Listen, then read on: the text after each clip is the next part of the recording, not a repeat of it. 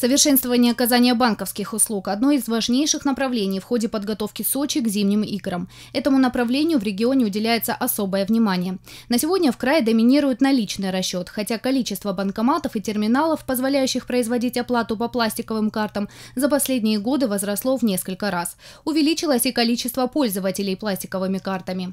Количество выданных на территории края платежных карт на сегодняшний день превышает 7 миллионов единиц. Если а, взять период с 1 января 2005 года, а, то их а, рост по количеству составил практически в 12 раз количество выросло. И начиная с 2011 года, ну, 1 миллион в год мы прирастали.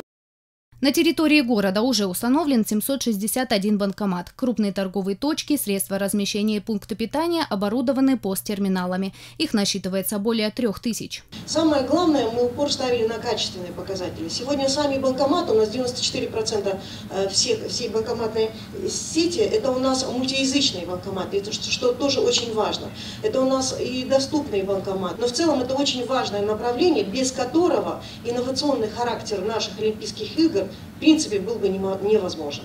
Что касается олимпийских объектов, то в горном и прибрежном кластерах появится еще 16 банкоматов. Причем принимать они будут исключительно карты виза. Обладатели других платежных систем во время игр смогут воспользоваться услугами консультанта, приобрести нужную карту и перекинуть на нее деньги. И несмотря на такие показатели, участники конференции отметили, что развитие системы безналичных расчетов по-прежнему остается актуальной. Поэтому создана новая программа развития инфраструктуры безналичных платежей в Краснодарском крае. Она была запущена запущена при поддержке виза и Главного управления Банка России по краю и утверждена постановлением губернатора Александра Ткачева. В основу этой концепции а, заложено развитие необходимой банковской инфраструктуры, в том числе и основной упор делается на развитие безналичных расчетов. В течение вот тех оставшихся 205 дней количество точек приема банковских карт должно увеличиться, увеличиться достаточно сильно. Это порядка 4000 точек приема пластиковых карт. Это установка дополнительных посттерминалов.